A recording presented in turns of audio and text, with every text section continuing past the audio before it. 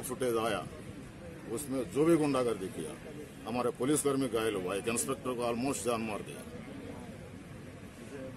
इनको मैं बताना चाहूँगा इन, इन लोगों के पीछे ताकतों को कि हम लोग बिल्कुल आयरन हैंड से कुछ लेंगे। समझे ना? सर। कोई सर। ताकत नहीं रोक पाएगा। Sir sir last question sir क्या लगता है कि सर साजिश थी क्या मुख्यमंत्री मुख्यमंत्री मारने की? पूर्ण रूप से साजिश। और ये मूर्ख लोग नहीं समझ रहे कानून की ताकत क्या होती है। कुचल दिया जाएगा।